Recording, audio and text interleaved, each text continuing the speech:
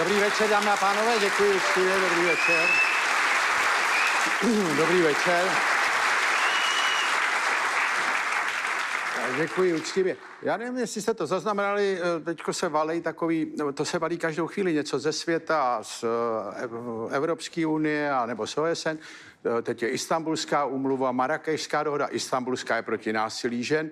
Chraň pámbu, že bych měl něco pro násilí. Ne- Nemiluju nic víc než ženy a nikdy jsem nemiloval, ale máme zákony na to, že žádný násilí na ženách se v demokratické společnosti nemůže odehrávat a e, považuji to za samozřejmost a každý, kdo se to dopustí, je zločinec.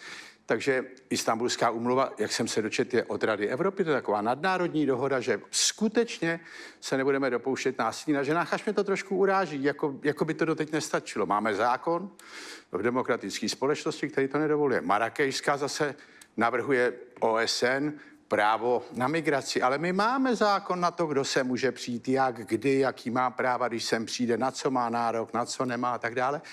A mě to trošku znervozňuje, protože vznikají takový dohody, jsou to úmluvy a nadnárodní návrhy, které se jaksi dostanou nad stát, pak jistě vznikne komise pro dodržování této dohody, kam vstoupí, kdo bude chtít, a ten pak bude říkat, že stát nedodržuje tu dohodu a stane se tak trošku jako nad, dostane se jako nadstát a bude nám říkat, jak máme zlepšit tohle, tedy státu. Ať ho nikdo nevolil, nikdo nevybíral, nikdo neví, kdo to je. Čili nedělá mě to nějak dobrý pocit, tak tomu si vemte eh, na závěr třeba to, jak eh, nám vymysleli, že na období svátku se nesmí prodávat v obchodních domech, který mají větší obchody než co. Já tam teď byl o svátcích, teda při posledních svátcích. Miloval jsem být v obchodním domě v době svátku. Bylo to moje hobby, vzali mi ho. Jakým právem?